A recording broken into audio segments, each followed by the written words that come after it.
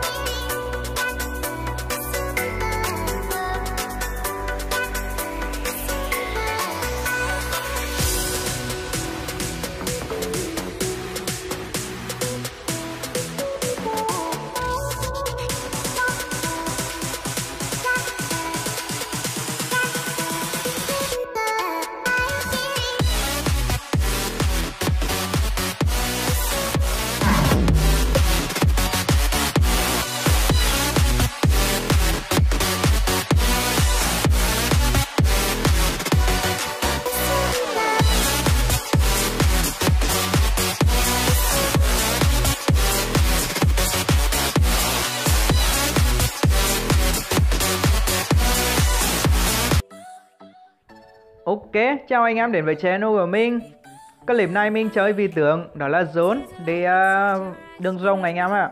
Thì vào mới vào game thì anh em like nhẹ cái nào. Ấy lấy tinh thần để làm những clip tiếp theo. Ok, clip này mình chơi Zone đi à, ở uh, lên uh, à, xế giá và đối đầu với mình bên kia là vị tướng Van Helsing. Đấy, một vị tướng cùng được tăng sức mạnh ở mùa 10 này. Còn là Zone thì bị giảm sức mạnh ở cái chiêu cuối cũng như là tiêu hao năng lượng nhưng mà đối đầu với Van Huyền thì mình không sợ nha anh em Bởi vì thì mình tầm tay rất chi là xa. Tuy là mình có thể không thẳng thế được ở những pha solo ờ, một một đấy Nhưng mà mình có thể ờ, đứng từ xa rìa được Van Huyền anh em ạ. Rồi pha này thì 36 kế chuồn là tường sách khi mà tem bàn đang hai người. Còn ờ, uh, mid mình thì ờ, uh, FP mình thì đang check map anh em ạ. Rồi có phá hỗ trợ đến từ Ôi tốc biến đến từ Igit luôn.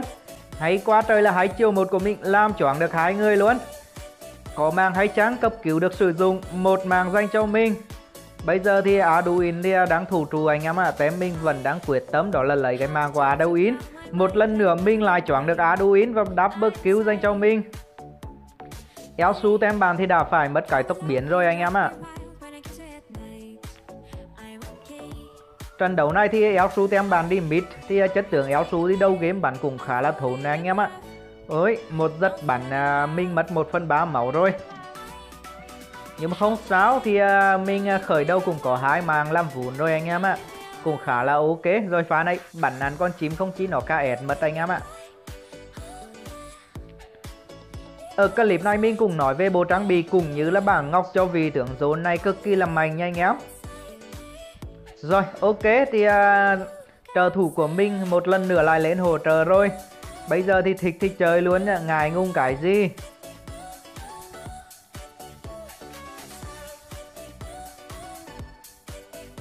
Rồi, tem mình thì uh, nà đi ăn rồng nha để là mình sẽ lại hỗ trợ ăn rồng nha anh em.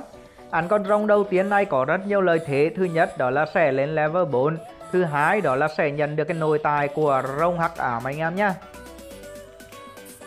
rồi, bây giờ thì uh, hãy quá một phát choảng đến từ vị tướng Silvera. Bây giờ mình lại được bắn rồi, một màng tiếp theo dành cho mình. Bây giờ Van Halen thì chắc chắn cũng phải lên bảng điểm số double cứu tiếp dành cho vị tướng Zone. Thì anh em có thể thấy rất chi là lời hài đến từ vị tướng Zone.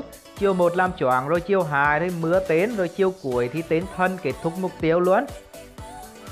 Đó là những bộ combo của Zone thì cũng khá là dễ dùng thì à, một nồi tài của dồn thì à, khá là thốn nha anh em. Hiện tại thì à, bốn màng của tem thì mình ăn hết cả bốn rồi anh em ạ rất chi là tuyệt vời.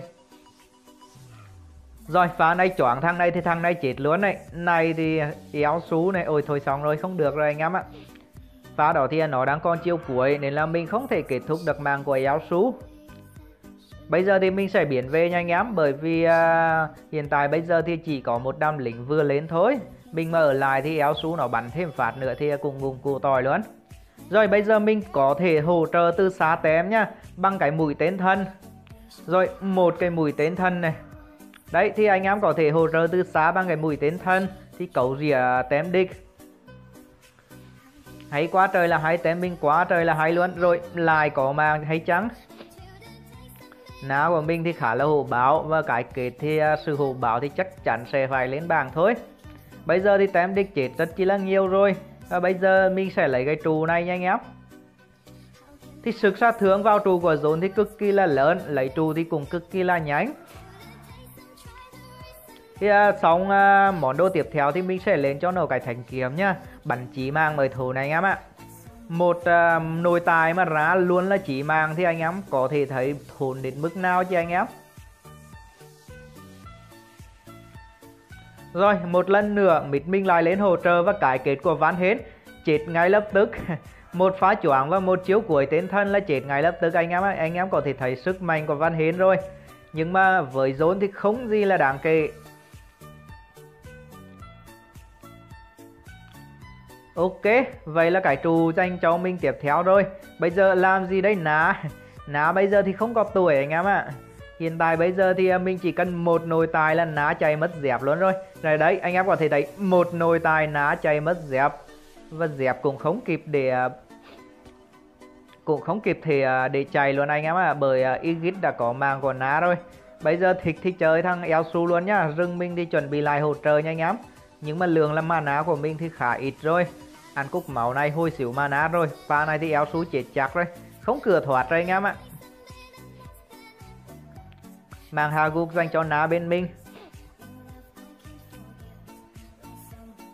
Bây giờ lượng máu của mình thì khá nhiều, Nhưng mà lượng mana của mình thì hết rồi, Nên là mình phải biến về anh em nhé Ở trận đấu này thì à, mình cũng khá là sánh sao rồi.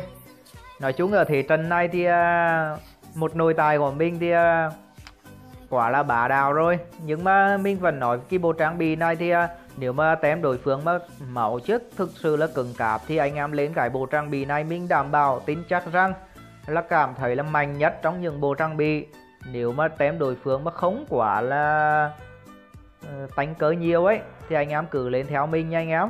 Và bộ bảng ngọc thì à, với vi tường dồn thì à, ngọc đỏ anh em lên cho mình tốc đánh tỷ lệ chỉ mang, ngọc tím 5 viên hút máu 5 viên tốc đánh tốc chạy và ngọc xanh đó là công vật lý và xuyên giáp.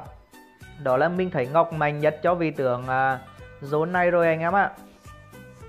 Bởi à, zone thì cũng cần à, tốc chạy và tốc đánh kèm theo đó là một lượng à, xuyên giáp và chỉ mang anh em nhé. Thì à, đó là ngọc tối ưu cho vị tưởng zone à, này rồi á. Anh em cứ lên theo mình đi.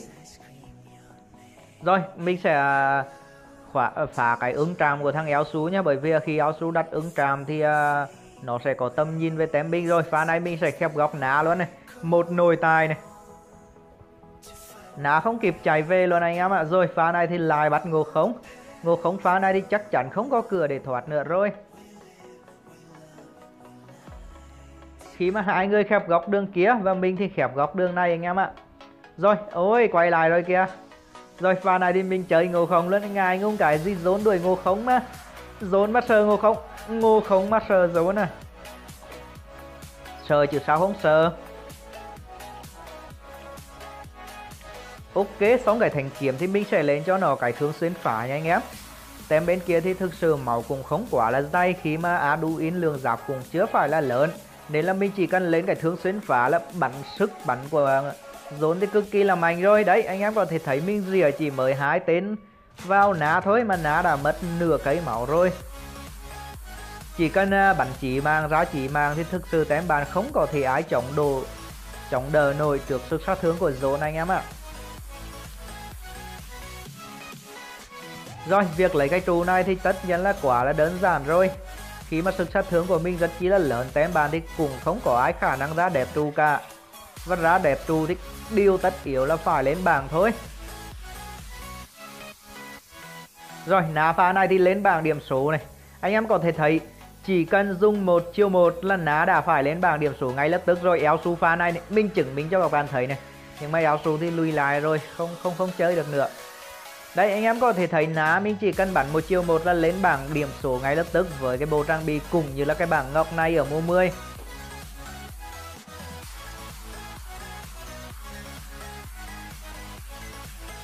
thì uh, điều quan trọng nhất đối với uh, chơi xạ thủ đó là giữ vị trí anh em ạ thì khi anh em giữ vị trí được thì anh em sẽ bắn rất chi là mạnh. Ôi thôi xong rồi pha này thì bị ngộ không bắt rồi. Thêm ná nữa thì. Ok, một phá thì uh, ngộ không giang hình lại kèm theo ná thì uh, mình không thể chạy nổi anh em ạ. Bởi vì